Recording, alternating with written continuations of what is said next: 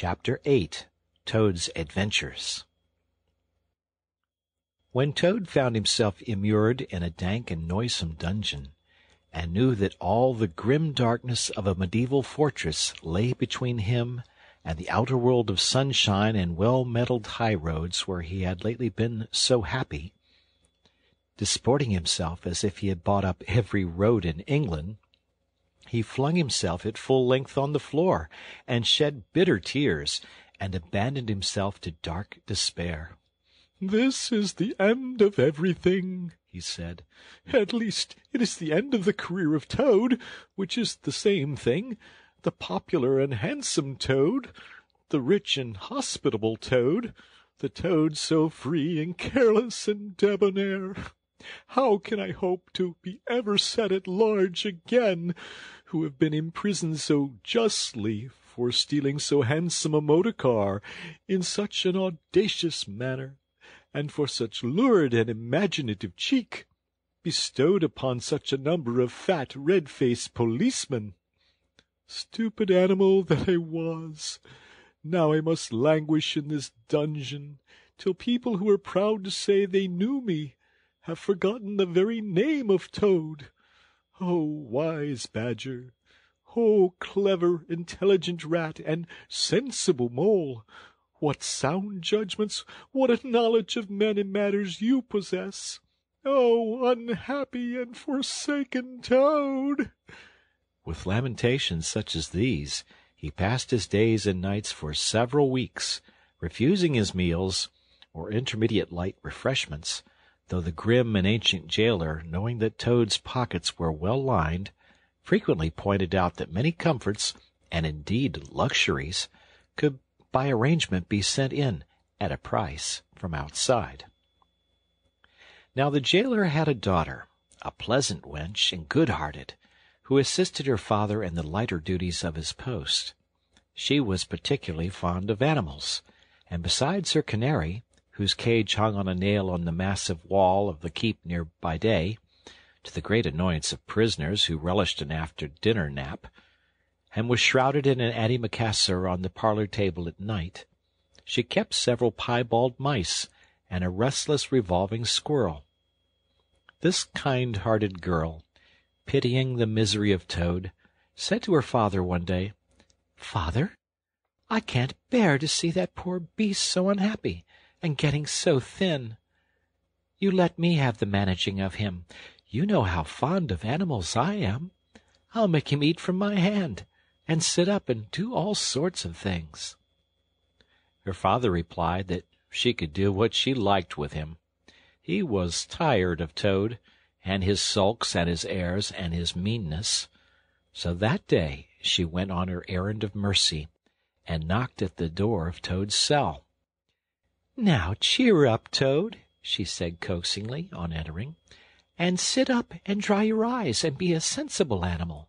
And do try and eat a bit of dinner. See, I've brought you some of mine, hot from the oven." It was bubble and squeak, between two plates, and its fragrance filled the narrow cell. The penetrating smell of cabbage reached the nose of Toad as he lay prostrate in his misery on the floor and gave him the idea for a moment that perhaps life was not such a blank and desperate thing as he had imagined. But still he wailed and kicked with his legs and refused to be comforted. So the wise girl retired for the time, but of course a good deal of the smell of hot cabbage remained behind, as it will do, and Toad, between his sobs, sniffed and reflected and gradually began to think new and inspiring thoughts of chivalry and poetry and deeds still to be done, of broad meadows and cattle browsing in them, raked by sun and wind, of kitchen gardens and straight herb borders, and warm snapdragon beset by bees, and of the comforting clink of dishes set down on the table at Toad Hall, and the scrape of chair legs on the floor as everyone pulled himself close up to his work. The air of the narrow cell took a rosy tinge. He began to think of his friends, and how they would surely be able to do something. Of lawyers, and how they would have enjoyed his case, and what an ass he had been not to get in a few. And lastly, he thought of his own great cleverness and resource, and all that he was capable of if he only gave his great mind to it, and the cure was almost complete. When the girl returned, some hours later, she carried a tray with a cup of fragrant tea steaming on it, and a plate piled up with very hot buttered toast, cut thick, very brown on both sides, with the butter running through the holes in it in great golden drops, like honey from the honeycomb. The smell of that buttered toast simply talked to Toad, and with no uncertain voice, talked of warm kitchens, of breakfasts on bright frosty mornings, of cosy parlor firesides on winter evenings when one's ramble was over and slippered feet were propped on the fender, of the purring of contented cats and the twitter of sleepy canaries. Toad sat up on end once more dried his eyes, sipped his tea, and munched his toast, and soon began talking freely about himself and the house he lived in and his doings there and how important he was and what a lot his friends thought of him. The jailer's daughter saw that the topic was doing him as much good as the tea, and indeed it was, and she encouraged him to go on. Tell me about Toad Hall, she said. It sounds beautiful. Toad Hall, said the Toad proudly, is an eligible, self-contained gentleman's residence very unique, dating in part from the fourteenth century, but replete with every modern convenience, up-to-date sanitation, five minutes from church, post office, and golf links, suitable for... Bless the animal, said the girl, laughing. I don't want to take it. Tell me something real about it. But first wait till I fetch you some more tea and toast. She tripped away, and presently returned with a fresh trayful; and Toad, pitching into the toast with avidity, his spirits quite restored to their usual level, told her about the boat house, and the fish pond, and the old walled kitchen garden, and about the pigsties, and the stables, and the pigeon house, and the hen house and about the dairy, and the wash house, and the china cupboards, and the linen presses. Oh, she liked that bit especially. And about the banqueting hall, and the fun they had there when the other animals were gathered round the table and Toad was at his best, singing songs, telling stories, carrying on generally. Then she wanted to know about his animal friends and was very interested in all he had to tell her about them and how they lived, and what they did to pass their time. Of course, she did not say she was fond of animals as pets, because she had the sense to see that Toad would be extremely offended. When she said good night, having filled his water jug and shaken up his straw for him, Toad was very much the same sanguine, self-satisfied animal that he had been of old. He sang a little song or two, of the sort he used to sing at his dinner parties, curled himself up in the straw, and had an excellent night's rest and the pleasantest of dreams. They had many interesting talks together after that, as the dreary days went on, and the jailer's daughter grew very sorry for Toad and thought it was a great shame that a poor little animal should be locked up in prison for what seemed to her a very trivial offense. Toad, of course, in his vanity, thought that her interest in him proceeded from a growing tenderness, and he could not help half regretting that the social gulf between them was so very wide, for she was a comely lass, and evidently admired him very much. One morning the girl was very thoughtful, and answered at random, and did not seem to Toad to be paying proper attention to his witty sayings and sparkling comments. "Toad," she said presently, "just listen, please. I have an aunt who is a washerwoman." "There, there," said Toad, graciously and affably. "Never mind. Think no more about it. I have several aunts who ought to be washerwomen. Do be quiet a minute, Toad, said the girl. You talk too much. That's your chief fault. And I'm trying to think, and you hurt my head. Well, as I said, I have an aunt who is a washerwoman. She does the washing for all the prisoners in this castle. We try to keep any paying business of that sort in the family, you understand. She takes out the washing on Monday morning, and brings it in on Friday evening. This is a Thursday. Now this is what occurs to me. You're very rich. At least you're always telling me so. And she's very poor. A few pounds wouldn't make any difference to you, and it would mean a lot to her. Now, I think if she were properly approached, squared, I believe is the word you animals use, you could come to some arrangement by which she would let you have her dress and bonnet and so on, and you could escape from the castle as the official washerwoman. You're very alike in many respects, particularly about the figure. We're not, said the toad in a huff. I have a very elegant figure for what I am. So has my aunt, replied the girl, for what she is. But have it your own way, you horrid, proud, ungrateful animal, when I'm sorry for you and trying to help you. Yes, yes, that's that's all right. Thank you very much indeed, said the toad hurriedly. But look here. You surely wouldn't have Mr. Toad of Toad Hall going about the country disguised as a washerwoman? Then you can stop here as a toad, replied the girl with much spirit. I suppose you want to go off in a coach and four. Honest Toad was always ready to admit himself in the wrong. You are a good, kind, clever girl, he said, and I am indeed a proud and stupid toad. Introduce me to your worthy aunt, if you will be so kind, and I have no doubt that the excellent lady and I shall be able to arrange terms satisfactory to both parties.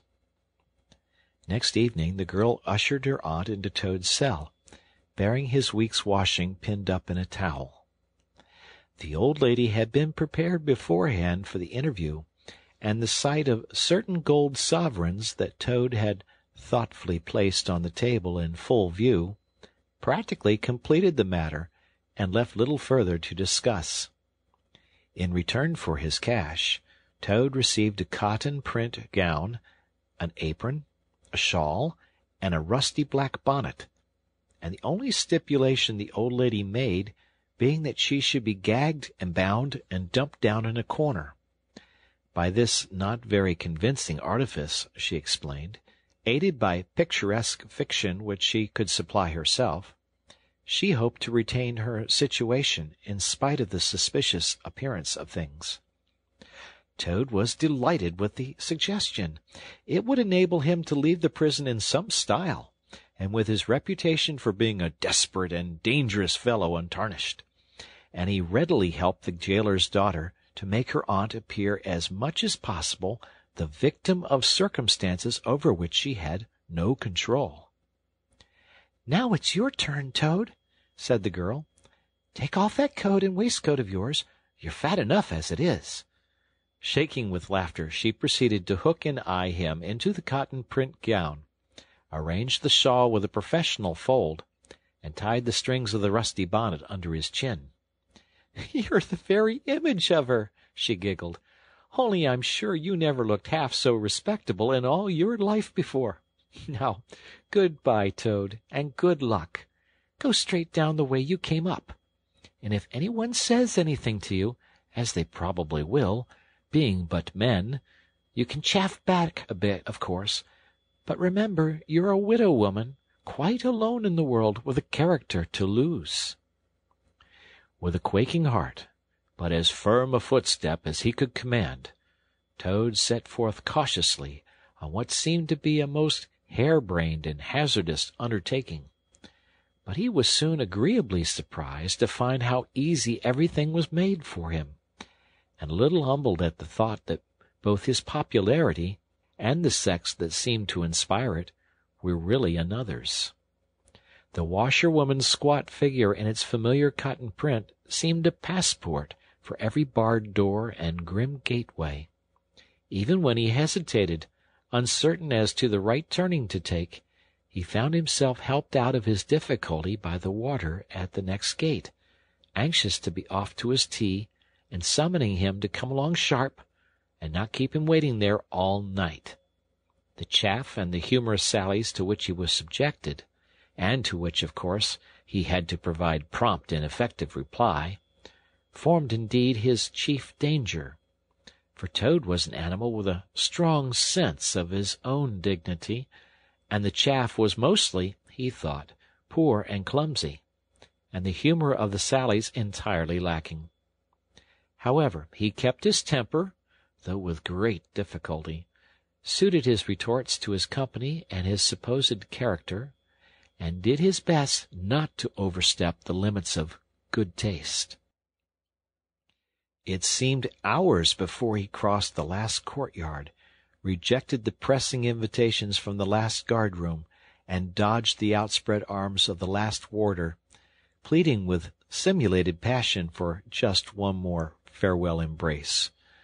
But at last he heard the wicket gate in the great outer door click behind him, felt the fresh air of the outer world upon his anxious brow, and he knew that he was free.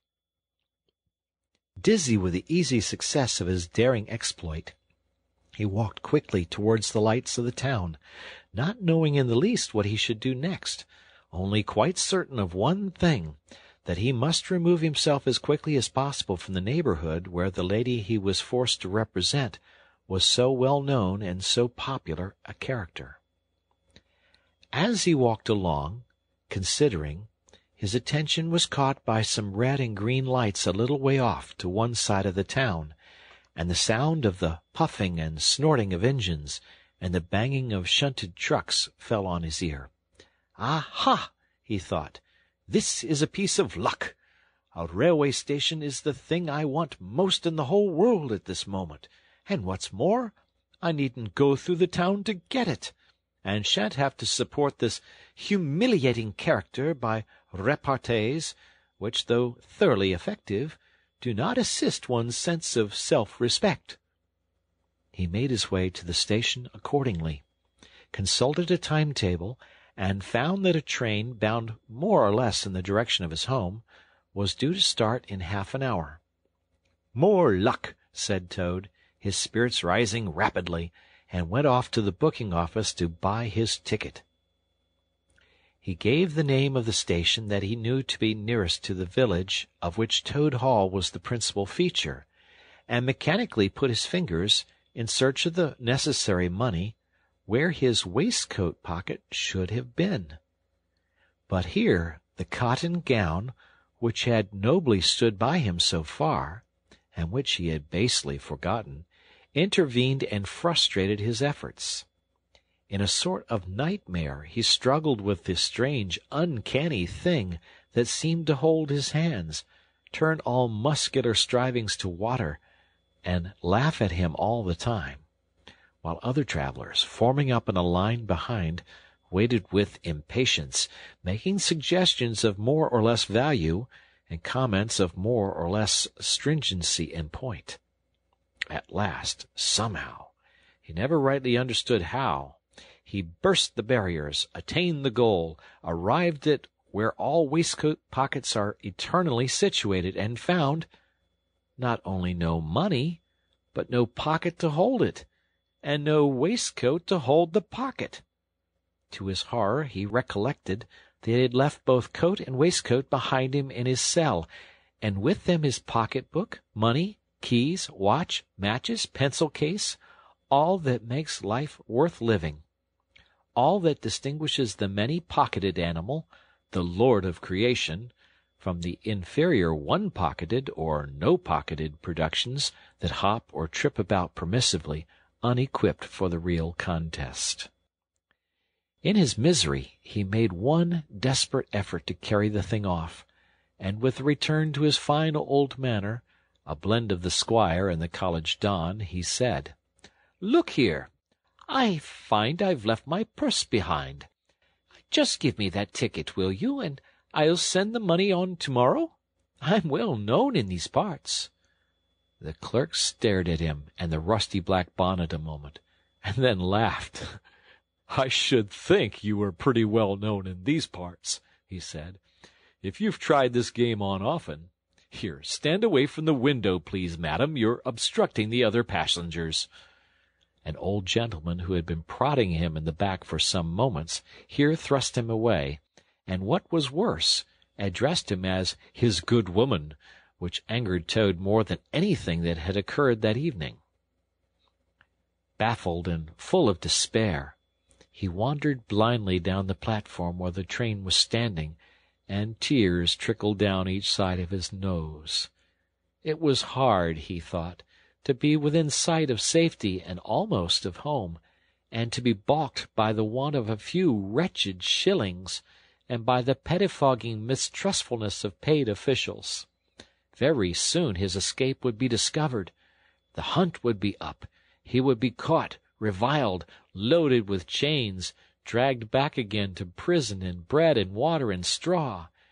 His guards and penalties would be doubled, and oh, what sarcastic remarks the girl would make! What was to be done? He was not swift of foot. His figure was, unfortunately, recognizable. Could he not squeeze under the seat of a carriage? He had seen this method adopted by schoolboys, when the journey money provided by thoughtful parents had been diverted to other and better ends. As he pondered, he found himself opposite the engine, which was being oiled, wiped, and gently caressed by its affectionate driver, a burly man with an oil can in one hand and a lump of cotton waste in the other. "Hello, mother," said the engine driver. "What's the trouble? You don't look particularly cheerful." "Oh, sir!" cried Toad, crying afresh, "I'm a poor, unhappy washerwoman, and I've lost all my money, and I can't pay for a ticket, and I must get home tonight somehow, and whatever I am to do I don't know. Oh, dear! Oh, dear!"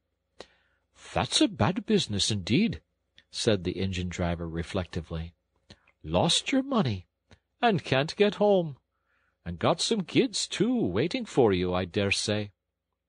Any amount of 'em, sobbed Toad, and they'll be hungry, and playing with matches, and upsetting lamps, the little innocents, and quarreling, and going on generally. Oh, dear! Oh, dear! Well, I'll tell you what I'll do said the good engine driver. You're a washerwoman to your trade, says you. Very well, that's that. And I'm an engine driver, as you well may see, and there's no denying it's terribly dirty work. Uses up a powder of shirt, it does, till my missus is fair tired of washing of 'em. If you'll wash a few shirts for me when you get home, and send 'em along, I'll give you a ride on my engine it's against the company's regulations, but we're not very particular in these out of the way parts. The toad's misery turned into rapture as he eagerly scrambled up into the cab of the engine. Of course, he had never washed a shirt in his life, and couldn't if he tried, and anyhow, he wasn't going to begin. But he thought, when I get safely home to Toad Hall and have money again, and pockets to put it in, I will send the engine driver enough to pay for quite a quantity of washing, and that will be the same thing, or better. The guard waved his welcome flag, the engine driver whistled in cheerful response, and the train moved out of the station. As the speed increased, and the toad could see on either side of him real fields and trees and hedges and cows and horses, all flying past him, and as he thought how every minute was bringing him nearer to Toad Hall, and sympathetic friends, and money to chink in his pocket, and a soft bed to sleep in, and good things to eat, and praise and admiration at the recital of his adventures and his surpassing cleverness, he began to skip up and down and shout, and sing snatches of song, to the great astonishment of the engine driver, who had come across washerwomen before at long intervals, but never one at all like this. They had covered many and many a mile, and Toad was already considering what he would have for supper as soon as he got home, when he noticed that the engine driver, with a puzzled expression on his face, was leaning over the side of the engine and listening hard. Then he saw him climb onto the coals and gaze out over the top of the train. Then he returned and said to Toad, It's very strange. We're the last train running in this direction tonight, yet I could be sworn that I heard another following us. Toad ceased his frivolous antics at once. He became grave and depressed, and a dull pain in the lower part of his spine, communicating itself to his legs, made him want to sit down and try desperately not to think of all the possibilities. By this time the moon was shining brightly, and the engine driver, steadying himself on the coal, could command a view of the line behind them for a long distance. Presently he called out, I can see it clearly now. It is an engine, on our rails, coming along at a great pace. It looks as if we're being pursued. The miserable Toad, crouching in the coal dust, tried hard to think of something to do, with dismal want of success. They are gaining on us fast, cried the engine driver, and the engine is crowded with the queerest lot of people. Men like ancient warders, waving halberds, policemen in their helmets, waving truncheons, and shabbily dressed men in pot hats, obvious and unmistakable plain-clothes detectives even at this distance, waving revolvers and walking sticks, all waving and all shouting the same thing, Stop! Stop! Stop! Then Toad fell on his knees among the coals, and raising his clasped paws in supplication, cried, Save me! Only save me, dear kind Mr. Engine Driver, and I will confess everything. I am not the simple washerwoman I seem to be. I have no children waiting for me, innocent or otherwise. I am a Toad, the well-known and popular Mr. Toad, a landed proprietor. I have just escaped, by my great daring and cleverness, from a loathsome dungeon into which my enemies had flung me. And if those fellows on that engine recapture me, it will be chains, and bread and water, and straw, and misery once more for poor, unhappy, innocent Toad. The engine driver looked down upon him very sternly, and said, Now tell the truth. What were you put in prison for? It was nothing very much, said poor Toad, coloring deeply. I only borrowed a motor car where, while the owners were at lunch, they had no need of it at the time. I didn't mean to steal it, really, but people, especially magistrates, take such harsh views of thoughtless and high-spirited actions. The engine driver looked very grave, and said, I fear that you have been indeed a wicked Toad, and by rights I ought to give you up to offended justice. But you are evidently in sore trouble and distress, so I will not desert you. I don't hold with motor cars, for one thing, and I don't hold with being ordered about by policemen when I'm on my own engine for another. And the sight of an animal in tears always makes me feel queer and soft-hearted. So cheer up, Toad. I'll do my best, and we may beat them yet. They piled on more coals, shoveling furiously. The furnace roared, the sparks flew, the engine leaped and swung, but still their pursuers slowly gained. The engine driver, with a sigh, wiped his brow with a handful of cotton waste, and said, I'm afraid it's no good, Toad. You see, they are running light, and they have the better engine. There's just one thing left for us to do, and it's your only chance, so attend very carefully to what I tell you. A short way ahead of us is a long tunnel, and on the other side of that the line passes through a thick wood. Now, I will put on all the speed I can while we are running through the tunnel, but the other fellows will slow down a bit, naturally, for fear of an accident. When we are through, I will shut off steam and put on brakes as hard as I can, and the moment it's safe to do so, you must jump and hide in the wood before they get through the tunnel and see you. Then I will go full speed ahead again, and they can chase me if they like, for as long as they like, and as far as they like. Now mind, and be ready to jump when I tell you. They piled on more coals, and the train shot into the tunnel, and the engine rushed and roared and rattled, till at last they shot out the other end into fresh air and the peaceful moonlight, and saw the wood lying dark and helpful upon either side of the line. The driver shut off steam and put on brakes. The toad got down on the step, and as the train slowed down to almost a walking pace, he heard the driver call out, Now jump! Toad jumped, rolled down a short embankment, picked himself up unhurt, scrambled into the wood, and hid. Peeping out, he saw his train get up speed again and disappear at a great pace. Then out of the tunnel burst the pursuing engine, roaring and whistling, her motley crew waving their various weapons and shouting, Stop! Stop! Stop! When they were past, the toad had a hearty laugh, for the first time since he was thrown into prison. But he soon stopped laughing when he came to consider that it was now very late and dark and cold. He was in an unknown wood, with no money and no chance of supper, and still far from friends and home and the dead silence of everything after the roar and rattle of the train was something of a shock. He dared not leave the shelter of the trees, so he struck into the wood with the idea of leaving the railway as far as possible behind him. After so many weeks within walls, he found the wood strange and unfriendly, and inclined, he thought, to make fun of him.